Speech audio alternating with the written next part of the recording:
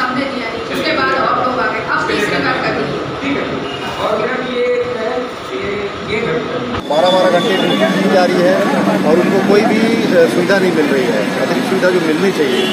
और ऐसी बहुत सारी समस्याएँ हैं। छोटी छोटी तो बहुत सारी समस्याएँ हैं।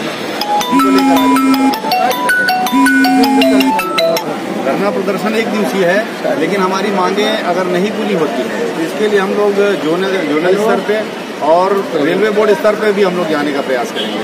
आपका नाम? मैं संजय गुप्ता जनरल सेक्रेटरी बिलासपुर